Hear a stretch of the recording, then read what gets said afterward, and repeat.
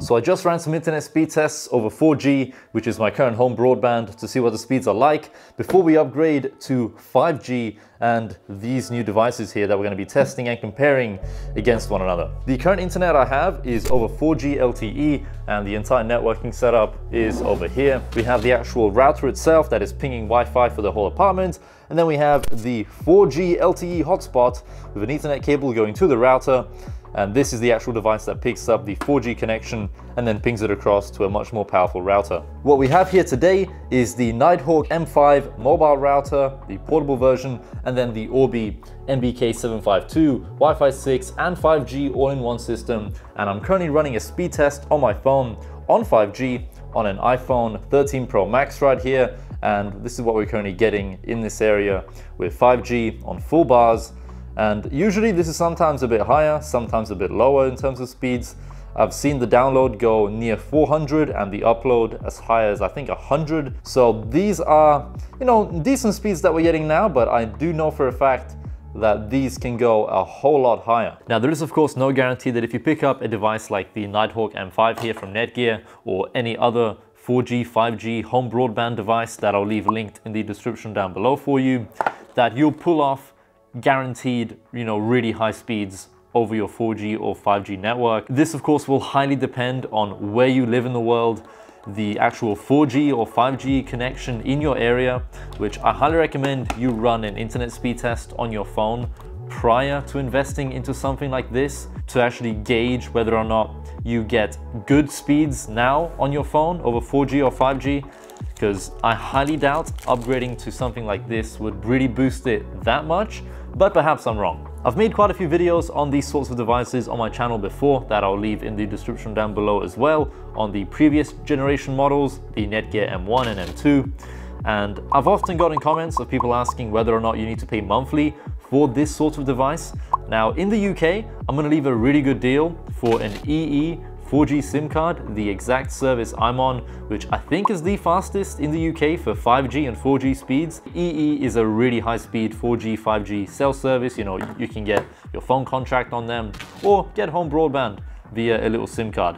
So you can actually get, I think like a two year prepaid SIM card for a really good deal. It works out to like 10 pound a month for unlimited data over 4G and 5G for just a little SIM card which I myself might actually upgrade to because it's cheaper than what I pay. At the moment, I've got an unlimited SIM card with this company for around 30 pound a month uh, for unlimited data on 4G and 5G, but it's even cheaper if you get a prepaid SIM card. And once you have your SIM card, all you gotta do is pop it into the actual device and then you have the battery that comes with the device as well. We get, of course, some documentation, some warranty information and whatever else. There is also this leaflet with 4G and 5G band information. And then we have the actual back cover that I've just installed onto the device. Now it looks a whole lot more clean. It does come with about a one meter long USB Type-C to USB Type-A cable here as well. To actually charge the device and the battery inside of here, you would of course plug it in via Type-C. It does also come with a power brick that you'd plug into your wall with a USB port on here.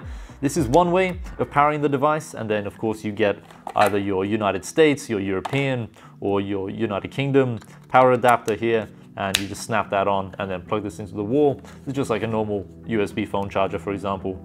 But instead of doing this, I'm gonna plug this into a USB hub I have in my networking setup, which is actually the sponsor of today's video. Ugreen and the Nexode lineup provide the fastest charge times for all your devices. The 200 watt desktop charger that I've been sent can charge two 16 inch MacBook Pro laptops from 0 to 50% battery in just 30 minutes and charge the newest iPhone 14 from 0 to 60% battery in just 30 minutes as well.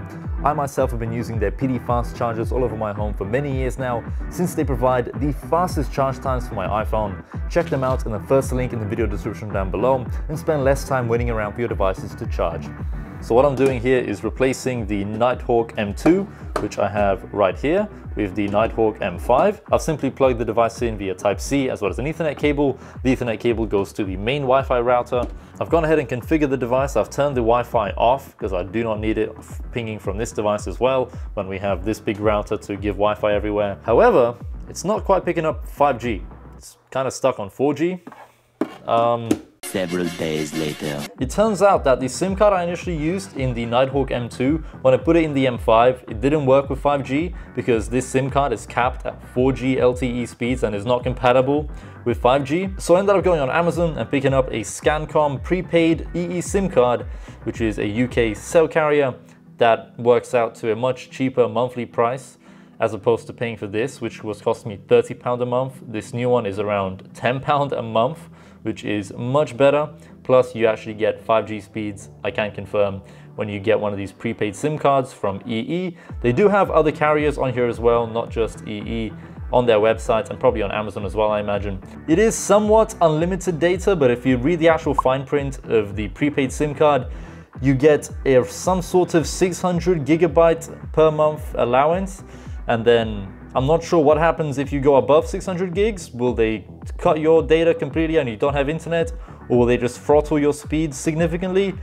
If I find out, I'll let you know. It's probably not unlimited and it's probably some sort of 600 gigabyte every 30 days data cap, but it does reset every 30 days. So it's still a pretty good deal for 10 pound a month. At the bottom here, we have the average speed across 40 results all in the exact same location. So each one of these devices here, when I ran the speed tests, this one, that one, and you know all of these were in the exact same spot on top of my PC case plugged in via Ethernet. So Wi-Fi was not a factor in the ping, the download, or the upload speeds. Everything was as stable as possible using an Ethernet cable. For those of you that have watched my previous videos on the Nighthawk M2 that I'm holding right here, this device here could actually pull off Mm-hmm. just under 400 megabit download and just under 100 megabit upload two years ago in 2020 on 4G LTE, not on 5G.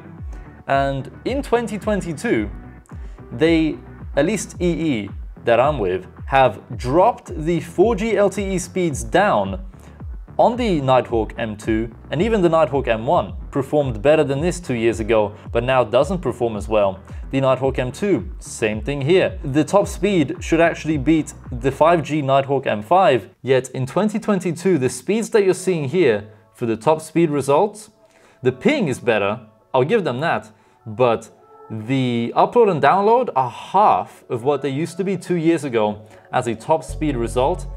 Then when you go to the M5, things start to look a little bit better with an overall increase in the upload and download and then on the supposed 5G network you know they're a little bit better again. But still these top speed results here are way behind from what they used to be two years ago. This thing managed to pull off like 390 on the download and like 90 on the upload two years ago whereas now on 5G the speeds are worse. But perhaps this Orbi all-in-one home Wi-Fi 6 and 5G system will turn things around and deliver, hopefully, a better result.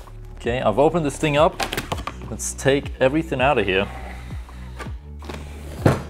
Right, yes, this opens up. We of course get a whole load of documentation. Included in the box, we have the European adapter for both the router and the satellite, I'm using the UK one, so I've got all of these set up, just two power cables, one for the satellite, one for the router itself, and then you also get a flat Cat5e Ethernet cable. In terms of connectivity options, we have the router right here with three Ethernet ports that are all gigabit. Two of them have link aggregation support, and one of them, the yellow one, is a LAN slash WAN port. Over on the left and right, we have two antenna ports for an optional 5G antenna or like satellite dish to pick up better 5G signal, but that is optional and is not included. There's also a SIM card slot for a 5G nano SIM and of course the actual power port over there as well. On the side there's a sync button to, I'm guessing, sync it up with the satellite, which also has a sync button over there as well. You do get the actual Wi-Fi name and password with a QR code included on the front of the router that you can peel off. And you also get an additional QR code. So if you have any guests come over, they can just scan the QR code and join the Wi-Fi really, really easily without you having to spell them out this long Wi-Fi password. Scanning a QR code is a much easier way of going about things. For those that are interested in the actual technical information and specs of this Orbi 5G Wi-Fi 6 system, Everything is listed over on the back of the box here, so feel free to pause the video and have a look yourself to make sure that this is a product that you'd be happy with buying as well. I think without further ado, let's plug this thing in, put a SIM card in here, and see what kind of speeds we can pull off. Okay, I believe I've installed the SIM card. I've plugged the device in and there is a white LED that is now flashing on and off. Okay, so when you first get this device, you have to go to orbilogin.com and in my case, I've plugged in the 5G SIM card. It says EE, your signal strength is excellent. Set up Orbi satellites. Yeah, I may as well do that. I have plugged in both of them. Oh, it actually found one without me having to press the sync buttons. Now it's asking me if I want to set up a new wireless network name as well as password. For now, I'm going to just leave it on the default password and wireless network SSID that it came with. So the device is all set up. It just restarted after we first set it up. So the internet kind of went down for a minute and then booted back up. We have excellent signal strength on the 5G-NSA mode, which is, it's sounding a bit dodgy, but hopefully that means very fast mode, okay? Without further ado, let's hit the speed test and see what we can pull off. Now, I'm not expecting anything too impressive given how the 5G speeds were earlier. Hey, that's pretty good. We're off to a good start. That nearly just set. I think this might be the fastest speed we've hit before. Hey, that's not bad. I'm actually impressed. I did not think I was gonna be impressed. That's actually good.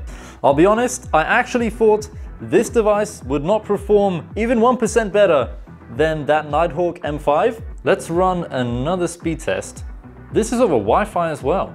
So this is the fourth test I'm running right now and let's see if it pulls off near the 300 megabit mark again. It's really close.